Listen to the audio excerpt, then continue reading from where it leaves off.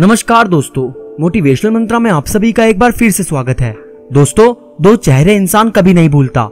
एक उसका जिसने मुश्किल में साथ दिया हो, दूसरा उसका जिसने मुश्किल में साथ छोड़ा हो। उस शख्स की कदर करने में कभी देर मत लगाना, जो आज के दौर में भी आपको अपना समय देता हो। जिसके साथ आप हंस सकते हो, उसके साथ आप पूरा दिन बिता सकते हो। परंतु जिसके सामने आप रो सकते हो, उसके साथ आप पूरी ज़िंदगी बिता सकते हो। मेरी यह बात हमेशा ध्यान रखना।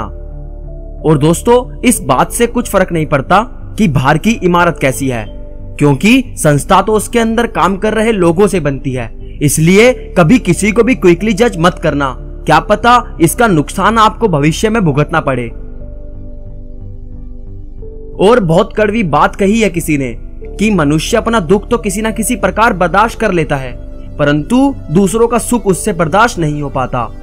और इंसान इतना बीमारियों से नहीं थकता जितना उसे कई बातों की चिंता थका देती है। इसलिए हमेशा चिंता से दूर रहो, क्योंकि ये आपके सोचने और समझने की क्षमता को कम कर देती है।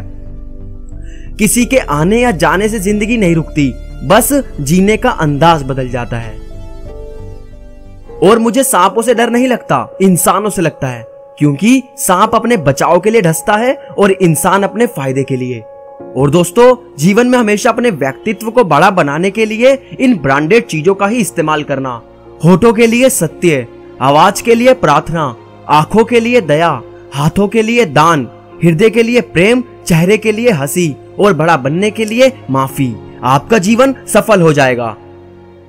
और दोस्तों, अपना गणित हमेशा सीधा और सरल रखना कि जहाँ कदर नहीं, वहाँ जाना नहीं। जो पछता नहीं, वो खाना नहीं।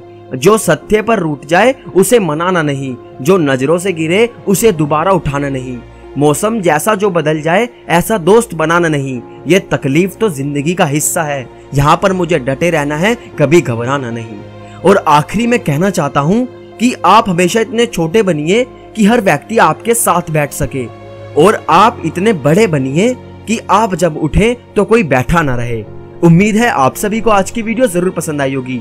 तो वीडियो को लाइक और शेयर ज़रूर करें और चैनल को सब्सक्राइब भी। मैं मिलूँगा आपसे अगली वीडियो में। तब तक के लिए मोटिवेशनल मंत्रा, साइनिंग ऑफ़।